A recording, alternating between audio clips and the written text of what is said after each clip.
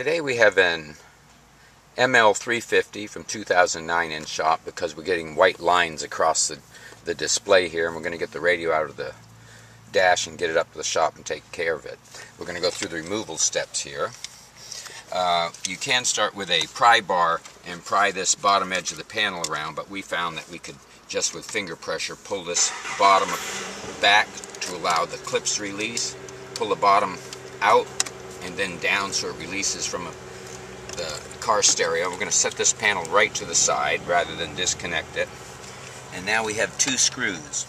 Here on the bottom right we have a silver piece with a little Torx screw in it and we're going to just remove this screw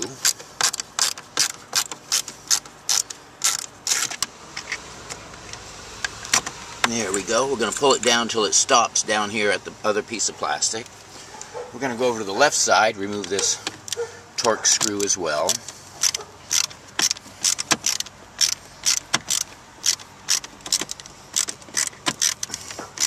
Lighting is bad this morning.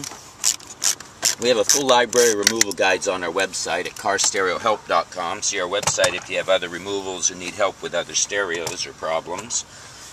And we're also going to take this silver piece on the left and pull that down too.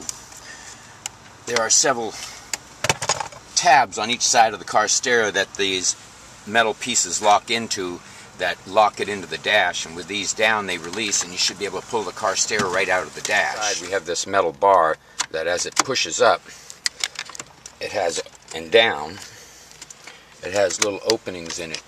One opening here and one opening in the top and these openings allow the tabs on the sides of the radio to go in and then when the bar pushes up it pulls it into the dash and locks it into place. We're going to pull it forward and look at the connectors here on the back. We have several. Uh, the main connector here is a black connector. It has a little trigger on it that we're going to push down and as you push it down you take the piece below it and pull it out. It hinges out and as it hinges out it pushes the connector out of the back of the stereo to reinstall this connector, it has to be in this position so that when you put it in, the uh, locks on the side here, as the this goes down, pulls the connector into place. Uh, the remaining connectors we have here are a green antenna that has a little trigger on the top that we're going to push down, and this connector should release.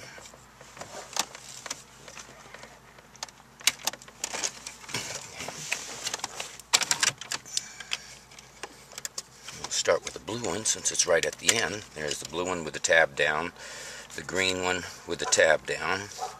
Of course, these are all color coded, so there's no sense to make any notes as to where they go. Uh, the yellow one also has a tab. And then we have the remaining connector here that has a tab on the top with a gray collar on it. We need to push the button down on the top and push the collar over the button and as it comes around it pushes the connector out of the back of the stereo as well. This is how you remove the stereo from a 2009 Mercedes ML. Hope this video has been helpful. Please subscribe. See our website.